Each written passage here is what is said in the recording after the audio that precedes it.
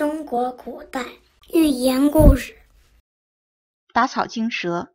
南唐时期的王鲁非常贪财，做官从不为老百姓考虑，只是一味的搜刮民脂民膏，养肥自己。有一年，他做了当涂的县令，天天算计着如何使自己的财产更多一些，根本不管百姓的死活，能贪则贪，能搜刮就搜刮。上行下效，他手下的官吏也是一样的贪赃枉法，搜刮聚财，弄得百姓无法生活。人们对于这些丧尽天良的贪官们恨之入骨，又实在没有办法。这一年，百姓实在忍无可忍了，纷纷联名上告，控告检举王鲁的手下贪赃枉法。